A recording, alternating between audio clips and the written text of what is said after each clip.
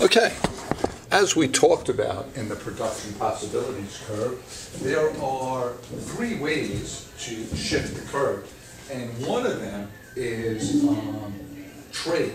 And while we'll talk about trade a lot more in macro than micro, um, comparative advantage and absolute advantage in picking the, um, who trades what is part of the micro unit and it will get a, our appetite whet for foreign trade. So, let's start with absolute advantage. Absolute advantage is which country can make more outputs in this situation. This is an output. How many tons of wheat each country, or how much sugar or pounds. So for absolute advantage, you just look, the United States can make makes 30 tons of wheat, Brazil makes 10, so therefore the United States has the absolute advantage over Brazil. Um, in sugar, the United States makes 30, um, Brazil makes 20, so the United States has the absolute advantage there. For absolute advantage, a country could have the absolute advantage for both. Now, comparative advantage. Comparative advantage is who has the lowest opportunity cost. And the country with the lowest opportunity cost is always going to specialize in that product. Okay? So one of the benefits of foreign trade is the ability to specialize, make things at a cheaper price, and then trade them with other countries, which would be higher opportunity costs for you. Again, this is an output problem, and we use the OO.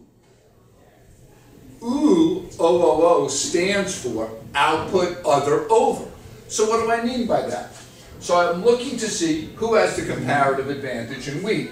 So I take the United States 30 and I remember, ooh, other, sugar, over. So 30 over 30 is 1. Now I look for Brazil. Brazil wheat is 10. I take the other, the other product, sugar, and I put it over.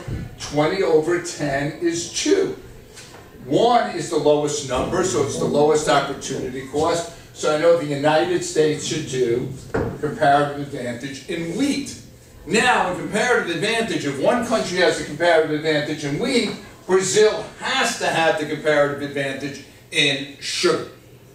Okay? Now, if the United States has the comparative advantage in wheat, and we're going to make more wheat, we will export that wheat to Brazil and input sugar.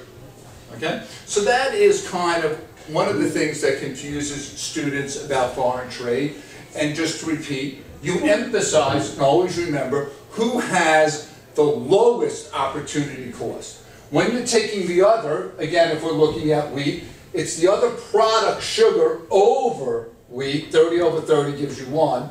And then you're looking for Brazil. 20 over 10 gives you 2. The United States at 1 is the lowest opportunity cost. Therefore, they do wheat. And if we would just try to figure out sugar here, again, United States, you do the other wheat, 30 over 30. And then here, Brazil sugar, you take the wheat, 10 over 20 is a half. A half is smaller, so Brazil does sugar. Thank you.